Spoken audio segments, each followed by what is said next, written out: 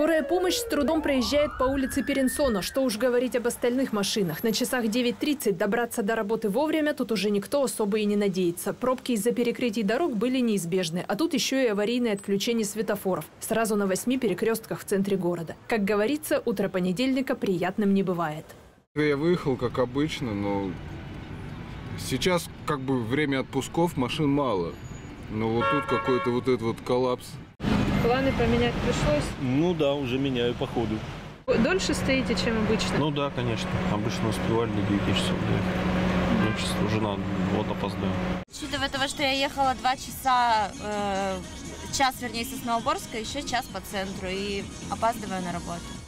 Символом этого лета в Красноярске стали вот такие бетонные блоки, лежащие на дороге. Водители уже, наверное, сбились со счета, сколько улиц перекрыто в городе. Ленина, например, ремонтируют по частям. Только вчера машины пустили по отрезку от Парижской коммуны до Вейнбаума и тут же закрыли следующие три квартала от Вейнбаума до диктатуры пролетариата.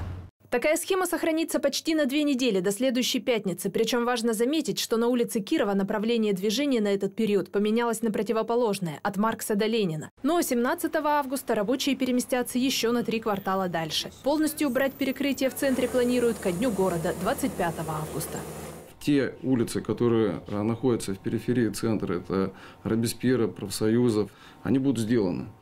Вот у нас было 42 объекта в начале года э, заявлено на торги. Из них 38 объектов практически уже завершены. То есть мы говорим о том, что мы программу, та, которая э, ставилась, та, та задача, она практически исполнена. Но и за пределами центра работы еще остается много. Самый большой объем на Копылова, от Ладоки Цхавели до Керенского. Впрочем, сегодня утром здесь царило удивительное спокойствие. Там, где ожидалась главная пробка, дорога была почти пустая. Видимо, все, кто раньше пользовался этим путем, зная перекрытие, постарались объехать его как можно дальше. Но и перенастройка светофоров сыграла свою роль. Со стороны свободного по Ладоке Схавели время горения светофорного объекта там ограничено порядка 25 секунд, э, потому что понимаем, что весь поток, который шел раньше по Кополову, он теперь поехал по Ладоке Схавели в сторону Новосибирска. И поэтому основной приоритет отдан именно движению со стороны улицы Кополова.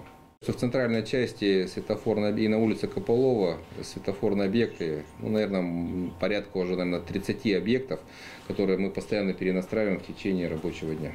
В отделе мониторинга улично-дорожной сети следят за обстановкой в городе в реальном времени. Как только на экранах отображаются заторы, специалисты стараются принимать меры. С помощью переключения светофоров перенаправляют потоки машин, а к обесточенным регулировщикам высылают рабочих с электрогенераторами. Мария Антюшева, Алексей Гусев, Енисей. Новости.